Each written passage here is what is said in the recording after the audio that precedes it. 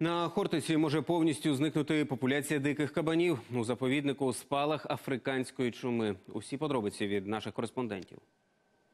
Это территория природно-заповедного фонда. Уже другу добу лісники та ветеринари обходять плавневу зону Хортиці. Саме тут зафіксували перші випадки африканки. Поки що нарахували 15 фактів загибелі диких тварин. Те, що це епідемія, довела експертиза. Тепер розмірковують, як убезпечити територію від поширення недуги, адже заповідник у самому середмісті Запоріжжя. Прилегающая территория э, в- а- к- в радиусе э, 10 километров по городу Запорож- Запорожье – это зона наблюдения. Наразі вирішили обмежити пересування лише заповідником. Йдеться переважно про автотранспорт. А и у нас тут пост э, все время работает еще конная милиция, ну, пост, постоянный пост. Любой вопрос мы обращаемся туда. Проте можуть обмежити пересування Хортицею і для туристів. Людина може бути переносчиком збудника інфекції від хворої тварини до здорової.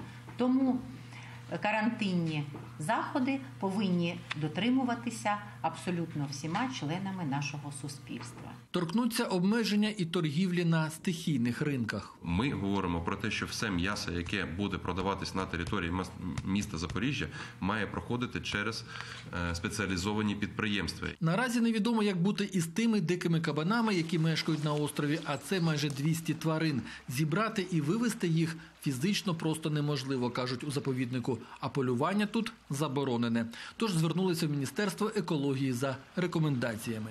Це для нас дуже велика шкода, але кабан, е, на щастя, не належить до тих тварин, які е, знаходяться під загрозою знищення, і природнім чином кабан тут, е, скоріш за все, через певний час е, природньо відновиться. Тим часом існує загроза, що спалах африканської чуми не обмежиться хортицею. Через води Дніпра збудник інфекції може поширитися нижче за течією.